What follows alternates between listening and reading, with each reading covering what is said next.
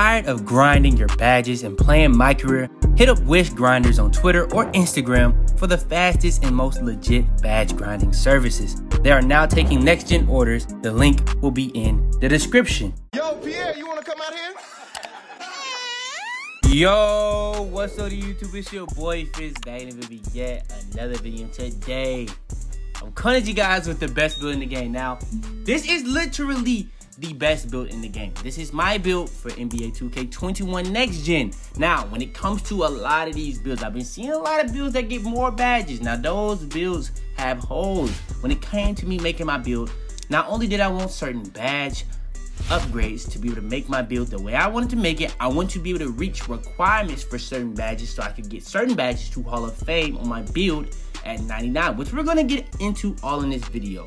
So yeah, I'm gonna be showing you guys exactly how to make my build, even all the way down to the takeover. I was different in a lot of things that I did when it came to making my build. And then also you gotta think about it, I made this build towards me, but in my opinion, it has no holes, so I don't understand why nobody else could use it. You know what I'm saying? So yeah, without further ado, man, let's go ahead hop straight into it.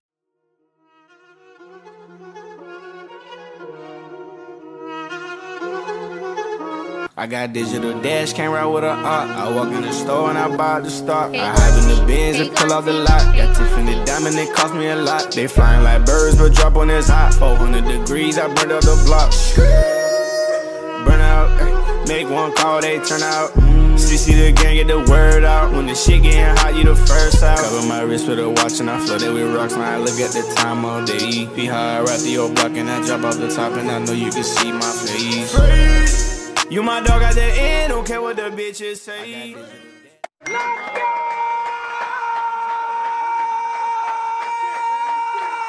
Now, off rip, I'm gonna tell you this right now. For years and years, people have been saying that you can't make a KD build. But if there's ever been a KD build, this is going to be that build. Now, when it comes to the position for this build, you want to go at the power forward. Power forward is going to get you the most badges, the best position for any build in this game, whether you're making a guard or a big man, it doesn't really matter. Next is going to be height, weight, wingspan. This is going to be pretty much like the new pie chart. Now, when it came to my height, weight, wingspan, I did this a lot different than a lot of people did. Now, when it came to everything from whatever height you wanted to choose, you only want to go six for seven for the way I'm making it. When it comes to the weight and wingspan, you can change that depending on how you want it. I went with the wingspan to make sure that I had a 92 driving up and a 91 three-pointer because depending on what three-pointer you go, you can't get yeah stop and pop to Hall of Fame at 99, or you can't get driving dunk high enough to be able to get posterizer Hall of Fame at 99. So I pretty much tried to make that perfectly so I could get both of those to Hall of Fame at 99. So I'm not gonna be able to get deep threes and stop and pop off rip at 99, but you know, I don't know what that even means at off rip at 99, but you know what I mean. I'm not gonna be able to get that off rip to Hall of Fame. At 99, I will. But when it came to the weight, now this is the most different thing. Most people, when they make these builds, they go minimum weight or they go a random weight. Mine, I went like this. I pretty much put it up higher to be able to get that higher interior defense and higher strength because we actually are upgrading both of those. We're not having a 25 interior defense. We're not having a 25 strength. We actually gonna have both of those. We care about that. So yeah, um, that's pretty much what I went with. And then when it came to the body type, that's completely up to you. So whatever you want to choose on that, go with it. All right, next. Now, I didn't go for badge upgrades, but I did end up getting 15, 18, 20, and 16. Now, I've, like I said, when it came to me making my build, if you watch my build tips, I was finding builds on builds on builds. So when it came to the high badge upgrades, I been found a lot of these because I was tweaking through every position and all that to find my perfect build. Now, when it came to me finding my build, I actually tweaked it a couple times. I ended up getting more shooting, or I ended up getting more finishing, or I ended up getting this attribute. So yeah, I pretty much tweaked it and tweaked it and tweaked it till I had it the perfect way that I wanted to get it to. So when it came to a lot of these attributes, when it comes to these attributes, if you look at these certain badges, some badges aren't popping up, some are. Some badges aren't popping up Hall of Fame. Some will be able to get to Hall of Fame if I want it. Now, that's depending on when I get to 99. We're to get into that later. Now, when it came to the badge upgrades, I get 15, 18, 20, and 16. That's not bad by any way you can even try to say it is. You know what I'm saying? It's not bad at all. Then when it comes to the attributes. Now, when I say there's no holes, there's literally no holes. When it came to the steal, I literally still get steals on my build. No matter what I had on my build, I still get steals. I get a lot of passing lane steals. I get almost two steals a game off passing lanes. Poking ball loose steal with just a 25 steal. Now, is it gonna make you a lot better at that type of stuff? If You have it upgrade? Yes. You're gonna be able to get interceptor. You're gonna be able to get pickpocket? Yes. But like, if I can do it either way and I can be able to do everything else, why not? Now, close shot, that's the only questionable hole that I have. But the only thing is, this is a guard build. I'm not gonna be doing standing layups. And even when I do standing layups, I make those. So that's not really an issue when it comes to a build like this. But the first thing I did when it came to make my build, I was having a problem getting the acceleration to be max on every single one of these builds. So when it came to making this build, I put the physicals up first. So if I had physicals that was going past 95 or 91, I just kept it at 91 because if you get Gym Rat badge and you reach 99, that's plus 8. You get plus 8 to both of those, that's to be at 99. You don't go past 99. That's literally the benchmark. That's literally the top. You can't go past that.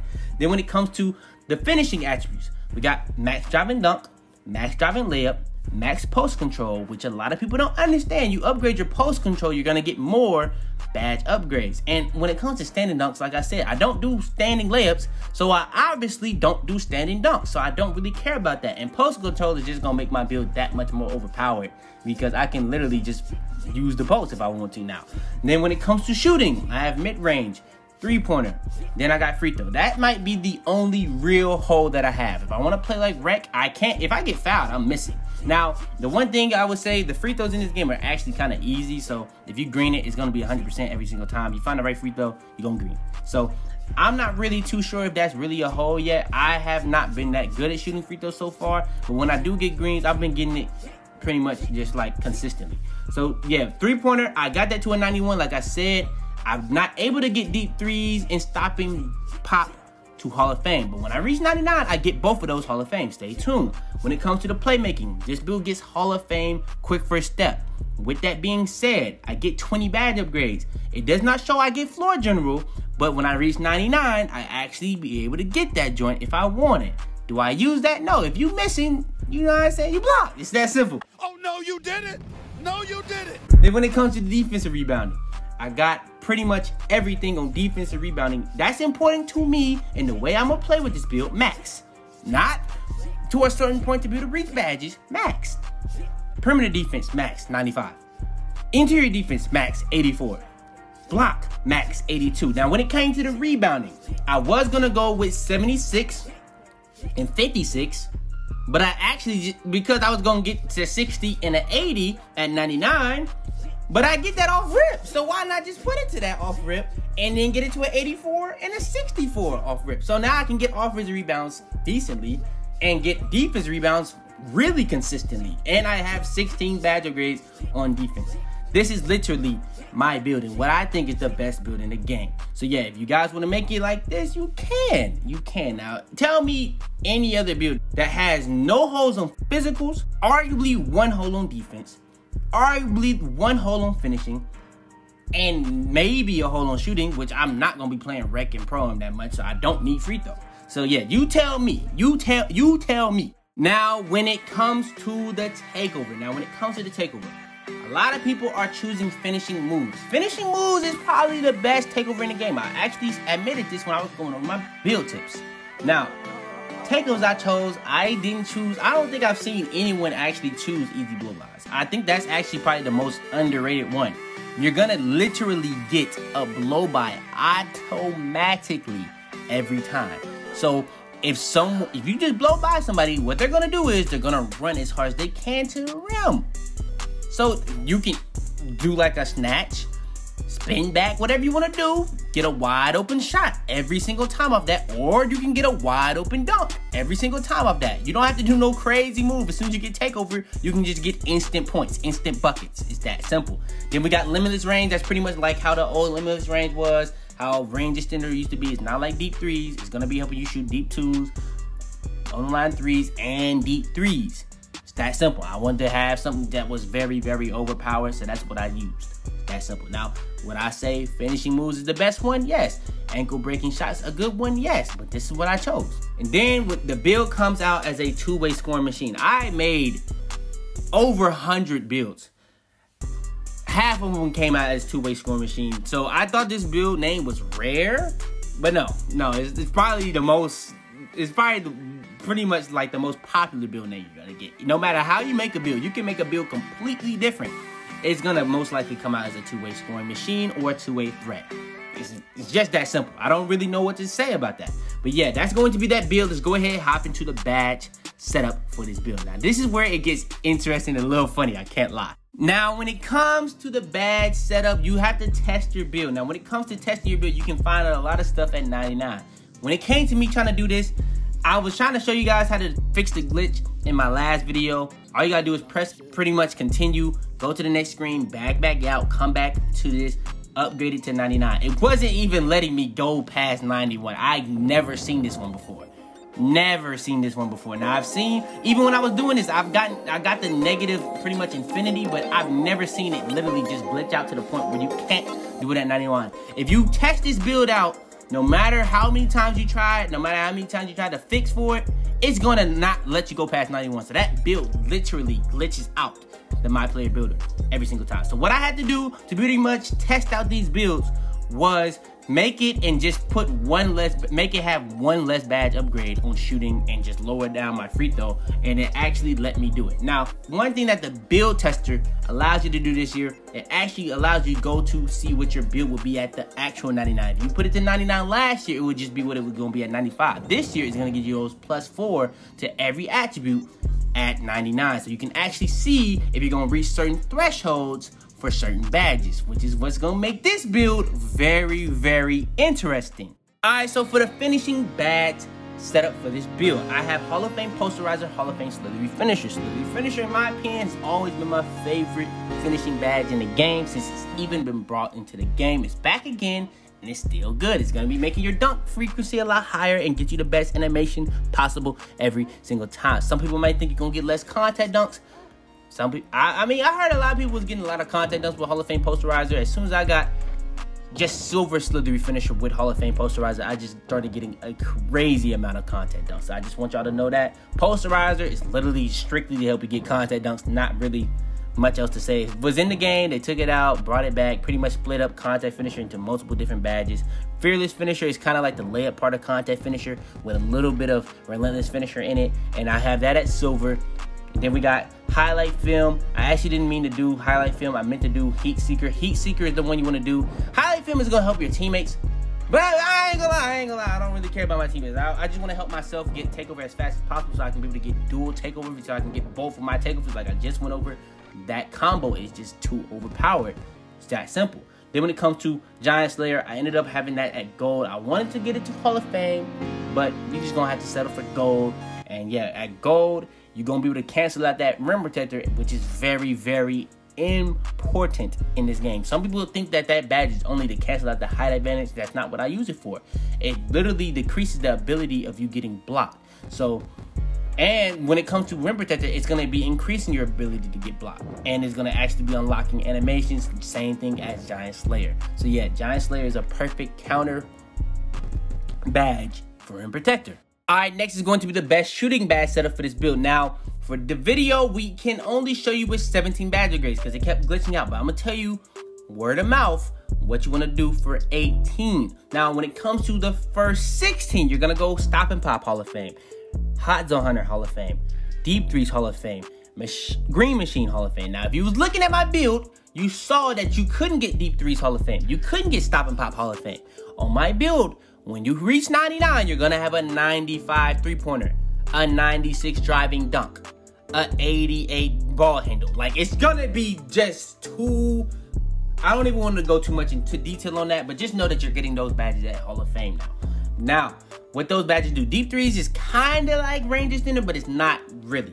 Range extender helped you on deep twos, on the line threes, and deep threes. This is supposed to only help you on deep threes. Now, when I've been testing it, it pops up on no matter if I'm taking the three, no matter if I'm like just a top a top of the key, no matter where I'm at, it's gonna be activating. So I don't really know fully how big of the deep threes, do you how deep do you have to be for it to really be like saying that you're helping you?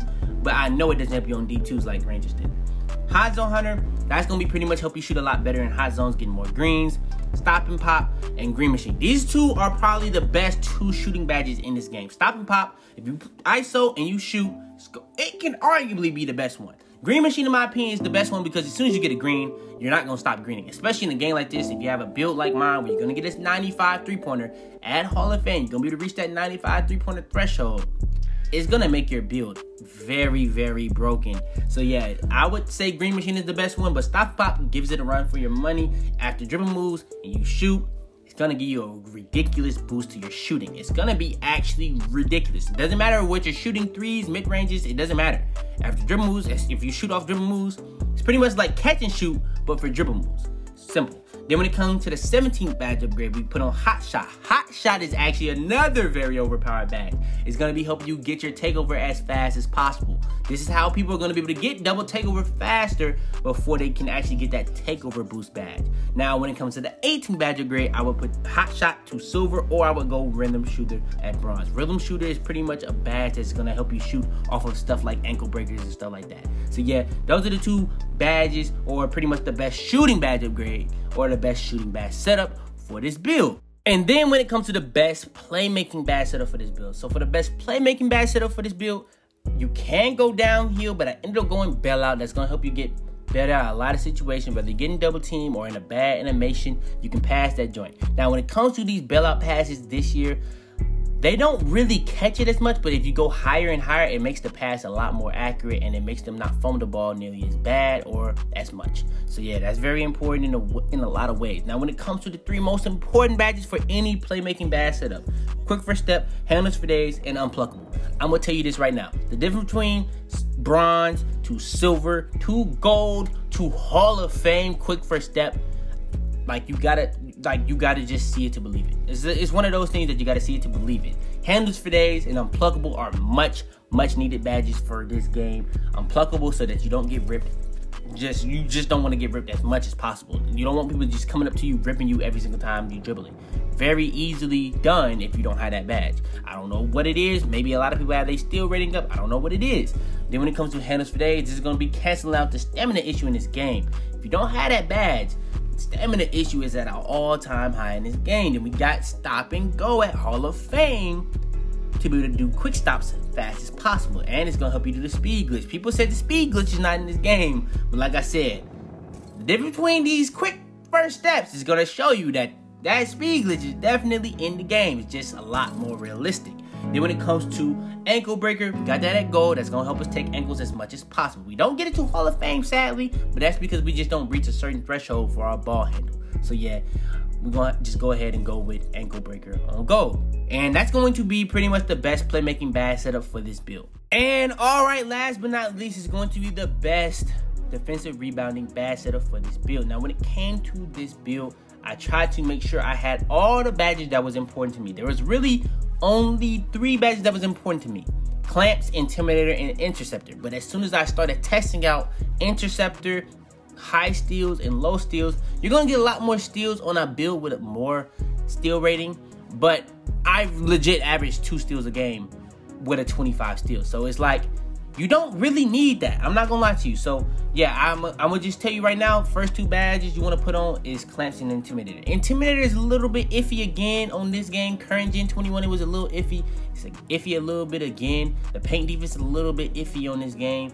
On current gen, the paint defense wasn't a big problem, but on this game, I feel like it might be an issue. I'm not gonna lie. But yeah, Intimidator definitely goes to gold because that's gonna help you get the best shot contest possible. It's a badge you definitely want to have as high as possible on this game. So yeah, I'm just gonna say that right now. When it comes to clamps, that's gonna help you play ISO. Everybody wants to ISO in this game. I've seen a couple people try to do screens and stuff like that. So we do have Hall of Fame pick dodger, but yeah, it's gonna help you pretty much stop people from trying to blow by you. Pretty much, if you're trying to play people in the half court, full court, anything ISO, it even can help you play screens. It's gonna be pretty much the best defensive badge in the game for guards. Then when it comes to badges like rim protector and rebound chaser and chase down artist, rim protector is gonna be enhancing chase down artists a lot. You can actually get that to Hall of Fame on this build if you didn't notice, there is an extra level to it. So yeah, but yeah, Rim Protector, very, very overpowered badge. You, it's gonna help you get a lot more blocks. It's gonna help you get more block animations, and it's also at the park. It also gives your teammates a boost if you do hard fouls, which is actually interesting.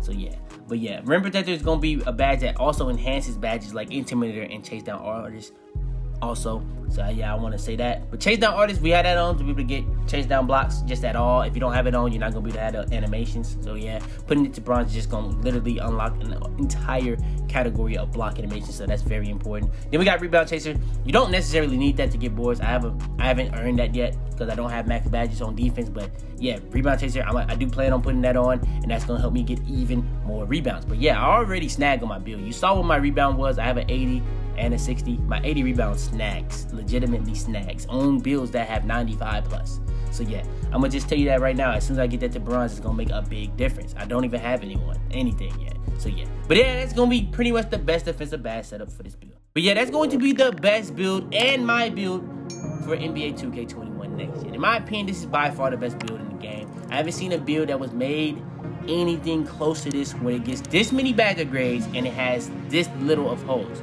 Now, my opinion, I don't really have no holes for my playstyle. It might be holes for your playstyle. It works for me perfectly. Perfectly. You know what I'm saying? In every shape or form, way possible.